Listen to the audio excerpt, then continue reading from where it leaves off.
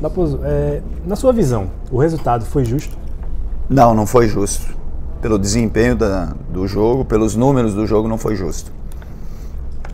E a gente viu muita reclamação por parte do esporte nessa reta final, na, na hora que o Carlos Eduardo foi expulso, mas também na hora do gol do Bahia. Você também foi um dos que reclamaram assustosamente. Qual era o motivo da reclamação? Foi um, uma suposta falta? O que teria sido? A reclamação é porque no, no início do lance foi uma falta em cima do Sabino. É, houve uma carga do, do, do, do atacante do, do, Bahia e atrapalhou no movimento é, para ele tirar essa bola. Então houve sim uma falta no, no primeiro lance. E assim, apesar da derrota nesse jogo de hoje, o que é que você acha que sai de positivo daqui do, da, da, Arena Fonte Nova? Mais uma vez, uma postura boa do esporte, tendo as principais chances, o que é que você acha que dá para tirar de positivo daqui? Sai que nós controlamos o jogo, a gente jogou com um adversário que tem qualidade, que está no G4 também, era um confronto direto. E em momento algum o jogo saiu do controle nosso. Nós controlamos bem o jogo desde o início da partida.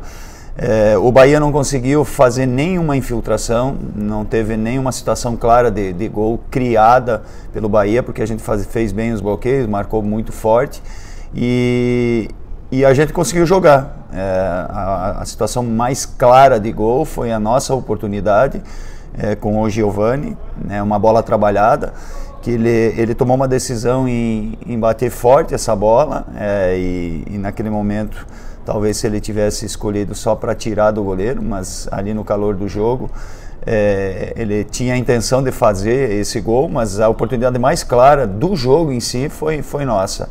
Então o desempenho foi bom, o resultado mais justo realmente pelo, pelo que apresentou as duas equipes foi, é, seria o empate. Eu queria que você falasse mais uma vez sobre o Fabinho. Você elogiou muito ele depois do jogo contra a Ponte Preta e hoje mais uma vez ele foi muito bem é, teve gente até chamando na, nas redes sociais de, de, a muralha invisível, fazendo re, referência a Gilberto Silva. Queria que você falasse um pouco mais sobre ele, que vem ganhando essas oportunidades e, pelo visto, vem correspondendo. Teve, teve um bom desempenho, marcou muito, muito forte. Ele é um jogador que tem uma intensidade de, de demarcação, tem uma leitura muito boa. E, e, com a bola houve muito acerto de passe, ele conseguiu tirar essa bola da pressão, fazer inversão de jogo, é, Estou dando liberdade para ele também para infiltração, hora ele, hora o Bruninho.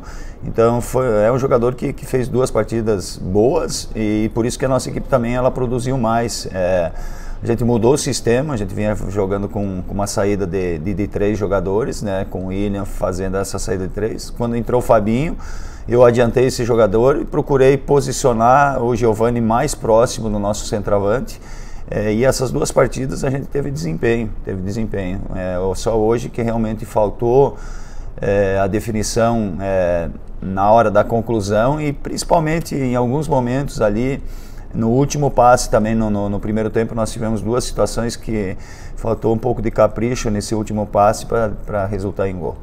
E qual foi o motivo da, da escolha é, pelo Kaique no lugar do, do Búfalo hoje? É, eu estou dando oportunidade, é onde é o setor onde eu tenho mais mexido, é, é, rodando o plantel, até pelo desgaste físico dos atletas, eles trabalham em alta intensidade e dando uma, uma oportunidade para o Kaique de início, tem, tem, treinado bem também. E eu quero que esses atletas eles tenham essa competitividade entre eles. É, para depois eu fazer as melhores escolhas. Ele também teve uma boa apresentação, foi, foi, foi bem no jogo. Está muito próximo dele também fazer o gol, o próprio Búfalo.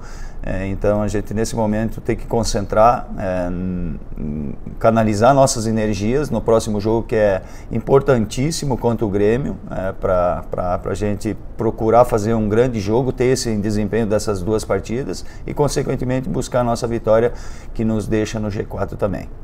E aí, só para encerrar, aproveitando que você falou do, perdão, do próximo jogo, o Sport iniciou hoje uma sequência duríssima, que vem o Bahia, depois vem o Grêmio, aí tem o Clássico contra o Náutico, o Brusque na sequência, que é um, um time que colou ali no G4, e depois Vasco, e no caso Cruzeiro e Vasco.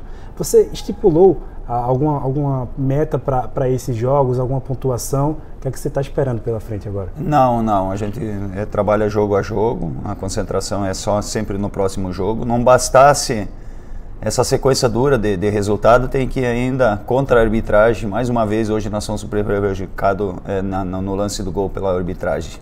Então, foi determinante no resultado.